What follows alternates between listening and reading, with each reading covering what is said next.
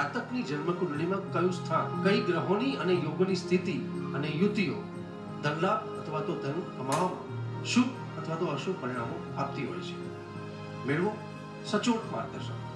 જ્યોતિષ ગુરુ ડોક્ટર પંકજ નાગર પાસેથી અને નિહાળો કાર્યક્રમ જ્યોતિષ એક વિજ્ઞાન. નમસ્કાર દર્શક મિત્રો, આપનું સ્વાગત છે કાર્યક્રમ જ્યોતિષ એક વિજ્ઞાનમાં. અને આપ નિહાળી રહ્યા છો અમારા જીટીપી ગુજરાતની વિશેષ રજૂઆત. કાર્યક્રમ જ્યોતિષ એક વિજ્ઞાનમાં. અને મારી સાથે હંમેશાની જેમ સ્ટુડિયોમાં જ્યોતિષ ગુરુ ડૉક્ટર પંકજ દાદા આપનું સ્વાગત છે સર. નમસ્કાર અશોકભાઈ અને નમસ્કાર મારા વાલા દર્શક મિત્રો. અશોકભાઈ આગળ વધીએ બિલકુલ. પંકજભાઈ આજના એપિસોડમાં જે દર્શક મિત્રોના સમસ્યાના પ્રશ્નો આવ્યા છે ખાસ કરીને જે ધનની જે પરિસ્થિતિ હોય છે જ્યારે સફળ એક વ્યક્તિ જ્યારે સારું ધન કમાઈને એક નામ કરતો હોય છે પડોશ પરિવાર સમાજમાં ત્યારે એક અત્યારે જે જોઈએ તો જે ધન કમાવાના જે વેઝની વાત કરીએ, તો શેર બજારની વાત કરીએ, સટ્ટાની વાત કરીએ, અથવા તો આકસ્મિક ધન, જે ધન કઈ રીતે કમાઈ શકાય, એની માટે વાત કરીએ, તો એમાં સફળતાથી ધન કમાવા માટે જાતકની જન્મકુંડળીમાં કયા ગ્રહોનું યોગો આપણે અને સ્થાન જોવાય? ચોક્કસ. અશોકભાઈ, જન્મકુંડળીમાં કોઈ બાર ભાવ બારે ભાવનું ફળ કથન અલગ અલગ એમાં સ્થિત ગ્રહો સ્થિત રાશિઓ સ્થિત નક્ષત્રો કોમ્બિનેશન જેને આપણે યુતિ કહીશું એના આધારે ઘણી બધી વસ્તુઓ આપણે નક્કી કરતા હોઈએ છીએ અહીંયા આપણે આજે શેર બજારની એક ચર્ચા કરીએ કારણ કે હું ધારું ત્યાં સુધી દુનિયાનો એંસીથી નેવું ટકા વર્ગ શેર બજાર પર નિર્ભર છે બિલકુલ બિલકુલ અને ગમે એટલો માર પડે તો શેર બજાર એક પ્રેમ પ્રકરણ જેવું છે. કે ફ્લર્ટિંગ જાય નહીં. બરાબર? ને ફ્લર્ટ હોય મેનિયાક હોય અને ગમે એટલો માર પડે પોલીસવાળા મારે કે ગુંડા મારે કે સંબંધીઓ મારે પણ ફ્લર્ટિંગ છોડે નહીં. એમ શેર બજારના જે રસિયાઓ હોય છે એ લોકો શેર બજાર કદી છોડતા નથી. આવે વાતો સુફિયાણી કરે પણ વળી પાછું બીજા દિવસથી શેર બજાર ચાલુ કરી દે. ચોક્કસ ચોક્કસ. તો આપણે અહીંયા એક વસ્તુ એ નક્કી કરેલી છે કે શેર બજાર રમવું કે ન રમવું આ શોમાં તમે પૂછ્યું શેર બજારનું સ્થાન કહ્યું તો સિમ્પલ છે પાંચમું. પંચમ ભાગ શેર બજારનું સ્થાન છે પણ આપણા પૂર્વજન્મના સંચિત કર્મોનો ભાવ પણ પાંચમો છે. બિલકુલ બિલકુલ. એટલે શેર બજાર રમતી વખતે ક્યાંક આપણે ગત જન્મની અંદર કોઈ કુર- કુકર્મ કર્યું હોય તો શેર બજારમાં લફડું ઊભું કરે. ચોક્કસ. તો શેર બજાર માટે હંમેશા પાંચમું સ્થાન જોવું જોઈએ. પાંચમા સ્થાનનો કારક ગુરુ છે એ પણ જોવું જોઈએ. એની અંદર કઈ રાશિ છે નક્ષત્ર છે અને એમાં બેઠેલા ગ્રહો એક કરતાં વધારે હોય. તો શેર બજારના પરિણામો કેવા હોય? એક જ ગ્રહ હોય તેના પરિણામ કેવા હોય? ક્રૂર ગ્રહ હોય તો એના પરિણામ કેવા હોય? શુભ ગ્રહ હોય તેના પરિણામ કેવા હોય? એ બધું ડિપેન્ડ કરે છે હવે પછીની વાતો ઉપર. બિલકુલ. પંકજભાઈ તમે ખૂબ સુંદર વાત કરી કે દેશનો એંસી ટકા જે એક ક્લાસ છે જે, એ શેર બજાર ઉપરની ઇન્કમમાં રહેતા હોય છે. અને એ સ્ટોક એક્શનની જે અસર છે, એ અર્થતંત્ર ઉપર પણ ચોક્કસ સરકારની પડતી રહે છે. માટે શેરબજારનો જે સવાલ છે, આજે વ્યાજબી છે. દર્શક મિત્રો, દિવાળી પછીનો જે એક આપણે અહીં એક પેટર્ન હોય છે કે ભાઈ દિવાળી પછી પાંચમથી ત્રીસ લોકો શરૂ કરતા હોય છે, નવા સોદા કરતા હોય છે શેર બજારમાં એક સારી ઉમેદ સાથે ત્યારે પ્રાયણ કરતા હોય છે ત્યારે. પંકજભાઈ, આપણી પાસે જાઉં કે શેર બજારમાં જે એવા કયા કાર્યગ્રહો છે એની વાત કરીએ અને જે ધન કમાવાના યોગો છે, ખાસ કરીને શેર બજારમાં સટ્ટામાં, એ કયા ચોક્કસ.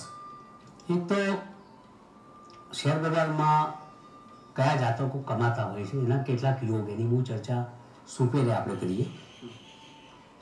કે મેં એક હર્ષદ મહેતા જે આજ તો આપણી વચ્ચે નથી, પરંતુ શેર બજારમાંથી અઢળક કમાણી સાથે કેટલાક સ્કેન્ડલ ઊભા કરી શેર બજારની અંદર ભારે વોલેટાઇલ શેર બજારને કરી અને એમણે આ જગત ઉપરથી અલવિદા લીધી.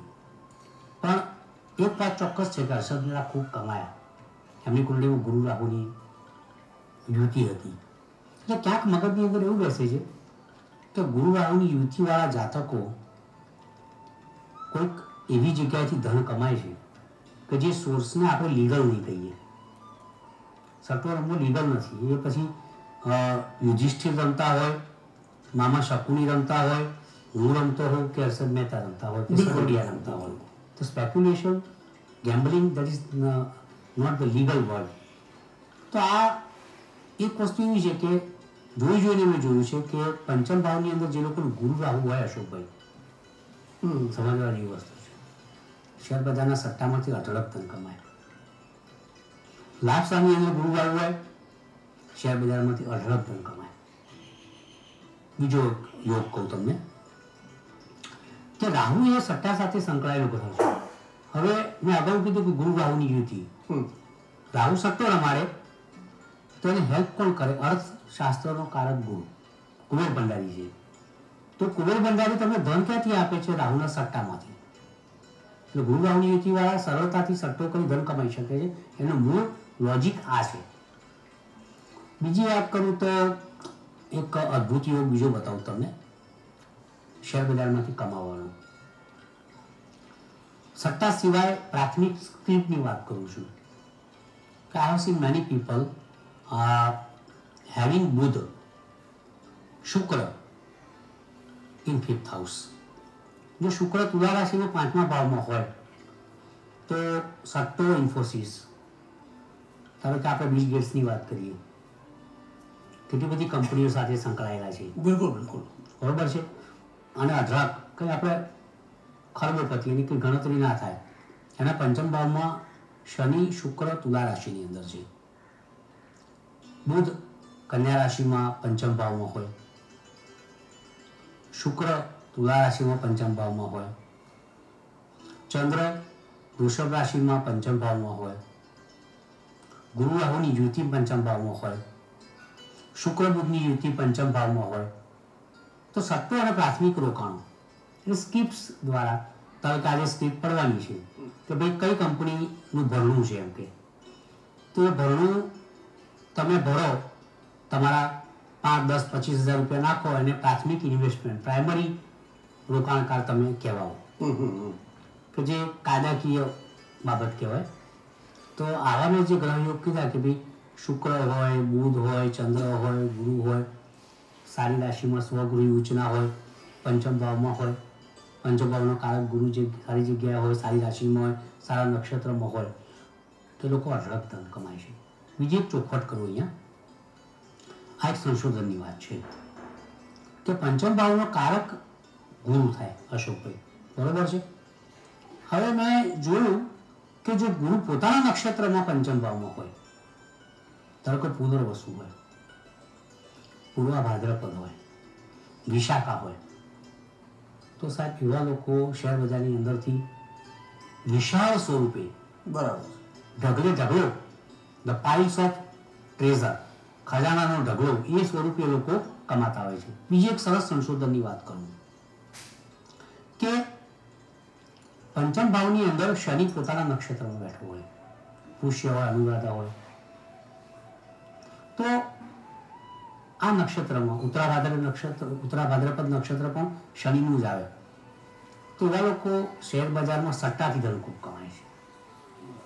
આ બહુ જોવા જેવી વસ્તુ છે. એટલે અગર તો શેર બજારમાંથી તમે ઢગલો ઢગલો ધન મેળવવા માટે જાણકારી મેળવવી હોય, તો પંચમ ભાવમાં જે ગ્રહ બેઠો હોય, એ ધારો કે ગુરુના નક્ષત્રનો હોય, તો સાહેબ તમે ન્યાલ થઈ જાઓ. એ વાત આ શોની અંદર હું તમને સંશોધનના ભાગરૂપે આપું છું. નિરીક્ષણ તમારી પર્સનલ કુંડળીનું કરજો અને એના દ્વારા તમને વધારે અંદાજ અને ખ્યાલ આવશે. બિલકુલ. પગજભાઈ તમે પ્રાઇમરી ઇન્વેસ્ટમેન્ટમાંથી જે કમાવાના ગ્રહોની અને યોગોની એક જાતકને જે હેલ્પફુલ થવાની બાબત હતી એની વાત કરી. પરંતુ આપણે જ્યારે બીજી વાત કરીએ પંકજભાઈ, કે રાશિ અનુસાર, ધારો કે અમુક રાશિના લોકોને અમુક રાશિના લોકો સાથે, અમુક અક્ષરના નામના વ્યક્તિઓ સાથે સારું એ લોકોને બનતું હોય છે, સારું લેણું બી હોય છે. તો એ પ્રમાણે શેર બજારમાં કઈ રાશિના જાતકોએ કયા અક્ષરની સ્ક્રિપ્ટની જે શરૂઆત હોય અક્ષર, એ લેવાથી ફાયદો થાય? ચોક્કસ. એક તો શોમાં એક ચોખવટ કરીશ કે તમારી રાશિથી જે નવમ પંચમમાં રાશિઓ આવતી હોય એની સ્ક્રિપ્ટ તમે ખરીદો તો તમને વધારે ફાયદો થાય. ઉદાહરણથી તમને સમજાવું. કે ધારો કે મેષ રાશિનો જાતક હોય તેની નવમ પંચમમાં સિંહ અને ધન રાશિ આવે. બરાબર. એટલે એવા જાતકો કાં તો પોતાની જે રાશિ છે એમાં અલઈ એ એલ આઈ અંગ્રેજી આલ્ફાબેટ. પાંચમા સ્થાનની અંદર સિંહ રાશિ આવે એમ ટી મટર તો પણ ચાલે. બરોબર છે? મટર એમપી તમારે રાખવાનું. બરોબર છે? પછી ધનરાશિ એમના ભાગ્યસ્થાનની અંદર આવે. એટલે ધનરાશિ એટલે ભ ધ, ફ ઢ ડીએચ ડીએચ એફ આ આલ્ફાબેટથી શરૂ થતી કંપનીઓ હોય તો ઉમેશ રાશિના જાતકોનું માફક આવે. એ રીતે વૃષભ રાશિનું પણ જાણી શકાય છે. કે વૃષભ રાશિના જાતકો હંમેશા કન્યા રાશિને, વૃષભ રાશિ અને મકર રાશિના આલ્ફાબેટ પકડીને શેર બજારમાં આગળ વધવું જોઈએ. મિથુન રાશિવાળાએ તુલા અને કુંભ રાશિના આલ્ફાબેટ પકડીને આગળ ચાલવું જોઈએ. કર્ક રાશિવાળાએ કર્ક, વૃશ્ચિક, મીન રાશિના આલ્ફાબેટ પકડીને આગળ વધવું જોઈએ. એમ તમારા પ્રથમ ભાવમાં જે રાશિ આવે, અગર તમારી રાશિથી જે નવમ પંચમ રાશિઓ આવતી હોય, એના તમે આલ્ફાબેટ મૂળાક્ષર જેને કહેવામાં આવે ગુજરાતીમાં. એ પકડીને દર્શક મિત્રો તમે આગળ વધો. તો તો ચોક્કસપણે તમને ફાયદો થાય. છે બીજી વસ્તુનું સંશોધનની વાત કરું, અશોકભાઈ, કે મેં જોયું છે કે શેરબજારની શેર બજારની સ્થાપનાની કુંડળી મુજબ એમાં ધન કમાવાની જે જગ્યાઓ છે, પંચમ ભાવ હોય, ભાગ્યસ્થાન હોય લાભ સ્થાન હોય, ધનસ્થાન હોય, એમાં જે આલ્ફાબેટ આવે છે, એનું સંશોધનમાં એવું છે કે કોઈ પણ જાતક, હું જે કહું છું આલ્ફાબેટની અંદર રોકાણ કરે તેને ફાયદો થાય છે. એસ, એટલે કે સ. આર એટલે કે ર ટી, એટલે કે ત ઓવર ટ. બરોબર છે? એસ આર ટી પછી એ એલ આઈ હમ. અ, લ ઈ આ સમજવા જેવી વસ્તુ છે. બરોબર છે? પછી મેં તો રતની વાત તો કરી દીધી સની પણ વાત કરી દીધી એલઆઈની પણ વાત કરી. તો બીજો છે પી પ. અને પછી છે કે ક. આટલા આલ્ફાબેટ ફરીથી પુનઃ હું ઉચ્ચારણ કરું છું. અ એલઆઈ એસઆરટી પી, કે કે. તો બીજા થોડોક ઉતરતા જોવા જઈએ તો બી, વી, યુ. એ સ્ક્રિપ્ટમાં જો તમે કોઈ પણ અજાણ્યું જાતક રોકાણ કરે, તો આઈ થિંક સો કે he gains, he earns lot money from share market. It is for sure, hundred percent sure, I am sure. બિલકુલ. પંકજભાઈ, તમે જે આલ્ફાબેટિકમાં વાત કરી કે કયા અક્ષરોની શરૂઆતવાળા જે સ્ક્રિપ્ટ હોય છે, એ ફાયદો કરતી હોય છે. પરંતુ આપણે ફાયદા નુકસાનની જો વાત કરીએ, તો એવા કયા ગ્રહોની યોગો છે કે જે નુકસાન બી કરે શેર બજારમાં ફાયદા બી કરાવતા હોય જાતકમાં ચોક્કસ. તો શેર બજારમાં સટ્ટો નુકસાન કરનારા ગ્રહોમાં, એટલે કે તમે સટ્ટો રમાડે કરોડોપતિ બનાવે. અને રોડપતિ બનાવે. હમણાં એક મેં જોક સાંભળ્યો હતો. તો એક જણે એવું કહ્યું કે પંકજભાઈ શેર બજારમાં કરોડપતિ થવું છે? એટલે મેં કહ્યું કોને ના થવું હોય યાર? આ તો બહુ મસ્ત વાત કરી. હું શું કરવા એના માટે? એટલે કે બે કરોડ રૂપિયા પડે. બે કરોડ રૂપિયા તો કરોડપતિ તો એમ કે એક કરોડ જાય કે હવે આ જોકનો મતલબ એવો છે. હા એટલે બરાબર છે. એટલે શરીર આવું એવું જ કામ છે. કે એવું તમને કહે છે કરોડપતિ થવું છે? તમે કહો એટલે કે ચાલ બેટા. તમે કરોડપતિ બનાવે, કેટલા રોકવાના? તો કે સો કરોડ રોકવાના. પછી એક કરોડ બાકી રહેલો શનિ મહારાજ તમને એવું જ કહે કે જો કરોડપતિ બનાવે તમે. નવ્વાણું કરોડ ગયા. એમ શનિ હોય, રાહુ હોય, શનિ રાહુની યુતિ હોય, કેતુ હોય, શનિ કેતુ હોય, ગુરુ કેતુ હોય, તો આ બધા ગ્રહો છે. ચંદ્ર રાહુ હોય, ગ્રહણ યોગ થાય. શનિ રાહુથી સાપિત યોગ થાય. રાહુ કેતુની હાજરી હોય તો પણ એ પાંચમા સ્થાનમાં અંધારાને જન્મ આપે છે. આ બધા ગ્રહો કેવા છે કે અશોકભાઈ મોટાભાગે જાતકને નુકસાન કરે. બીજી એક ટેકનિકલ વાત કરીએ કે શેર બજારમાં પંચમ ભાવનો સ્વામી જો આઠમા સ્થાનમાં ગયો હોય, છઠ્ઠા સ્થાનમાં ગયો હોય, છઠ્ઠું સ્થાન દેવાનું સ્થાન છે. આઠમું સ્થાન મૃત્યુની પીડા આપે છે.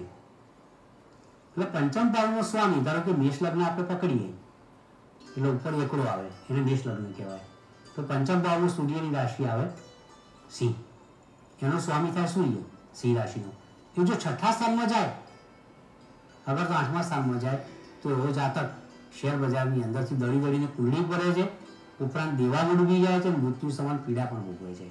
અને દરેક લગ્ન મુજબ, આપણે દરેક ગ્રહ પર કરવા પડે. ધારો કે વૃષભ લગ્ન હોય તો પંચમ સ્થાનમાં બુધ હોય, એ છઠ્ઠા, આઠમા, બારમા સ્થાનમાં નુકસાન કરે.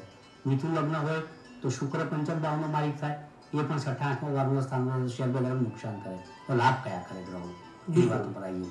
તો પંચમ ભાવનો માલિક ધારો કે એક ઉદાહરણ આપી મેષ લગ્નનું મેં. બરોબર છે? બહુ ટેકનિકલ બાબત છે પણ સરળ બાબત છે અશોકભાઈ એને દર્શકની તો સમજવાની કોશિશ કરવી જોઈએ આપણે. બિલકુલ. કે મેષ લગ્ન છે પાંચમા ભાવનો માલિક સૂર્ય થાય છે. પણ આ સૂર્ય ધારો કે ભાગ્યસ્થાનમાં જઈને બેસે ને સાહેબ. તો શેર બજારની અંદરથી ધનના ઢગલા. આ જ સૂર્ય પાંચમા ભાવના સ્વામી તરીકે ચતુર્થ સ્થાનમાં જાય તો શેર બજારથી સુખ આપે કારણ કે ચોથું સ્થાન એ સુખ સ્થાન છે. આ સૂર્ય. સાહેબ, પાંચમા ભાવના માલિક તરીકે દસમા સ્થાનની અંદર જાય તો શેર બજારે તમારો ધંધો વ્યવસાય થાય તમે ન્યાલ થઈ જાઓ સાહેબ. માલામાલ થઈ જાઓ. પાંચમા ભાવનો માલિક સૂર્ય બને મેષ લગ્નમાં અને લાભ સ્થાનમાં જાય તો શેર બજારથી લાભ જ લાભ. This is fact of astrology આ ગ્રંથો આપણા જે એન્સેટર્સ, આ જ આ ગ્રંથોની અંદર ઠોંસી ઠોંસીને ભરેલું છે એ વાત છે અને જો તમે અનુસરશો, તો આઈ એમ ડેમ શ્યોર કે તમને એનો લાભ થાય. એટલે પાંચમા ભાવનો સ્વામી દરેક લગ્નમાં અલગ અલગ બને. અને જો ભાગ્યસ્થાનની અંદર બેઠો હોય પંચભાવની અંદર બેઠો હોય, સાતમા ભાવમાં બેઠો હોય, દસમા ભાવમાં બેઠો હોય લાભ સ્થાનમાં બેઠો હોય, ધન સ્થાનમાં બેઠો હોય, ચોથા સ્થાનમાં, કેટલા બધા સ્થાન થયા? ખાલી ના પાડું, છઠ્ઠા આઠમા, બારમા સ્થાનમાં એ ન બેઠેલો હોવો જોઈએ. આટલા સ્થાનની અંદર બેઠો હોય તો લાભ લાભ. પંચમ ભાવમાં શુભ ગ્રહો બેઠા હોય તોય લાભ થઈ જાય. ચંદ્ર, શુક્ર, બુધ તોય લાભ થઈ જાય. અને હર્ષદ બેઠો હોય તો બી લાભ થઈ જાય. યુરેનસ બેઠો હોય તો બી લાભ થઈ જાય. નેપચ્યુન બેઠો તો પ્લુટો, નેપચ્યુનથી લાભ થાય, હર્ષદથી લાભ થાય. પણ જો પ્લુટો બેસે તો યમરાજ છે પણ ધ્યાન રાખવું પડે. બિલકુલ બિલકુલ. પંકજભાઈ તમે શેરબજારનો જે સંબંધની વાત કરીએ, એમાં સૂર્યનો એક મોટો પાઠ છે. તો એવા મુખ્ય જે બ્રહ્માંડ ગ્રહોની વાત કરીએ તો બીજા બે, શનિ અને ચંદ્રની પણ વાત કરી લઈએ કે શેરબજાર સાથેનો સંબંધ શું છે? કેટલો જાતકને કઈ રીતે ઉપયોગી બનતું ચોક્કસ. એક તો શનિ ચંદ્રની યુતિ વિષયો. જો પાંચમા ભાવ બેસે તો શેર બજારના કારણે આત્મહત્યા કરવાનો વારો આવે. અમદાવાદની જે મોટી ડિફોલ્ટર કંપનીની વાત કરું છું, નામ લીધા વિના. સાહેબ, ઓગણીસો નેવ્યાસીમાં એમણે ધાર્મિક નામ ધાર્મિક નામ હેઠળ એક કંપની શેરબજારની અંદર મૂકી. બરણું છલકાઈ છલકાઈ નહીં તો શેરબજારની અંદર ઇમ્પ્રેશન ખરાબ પડે. એટલે લોકો પાસેથી જબરદસ્તી પૈસા ઉધાર લઈને એમની પાસે પડાવડાવી દીધું. તો પાછા તો આપવા પડે ને. સ્ક્રિપ્ટ ચાલી જ નહીં. બોલ થઈ ગયા.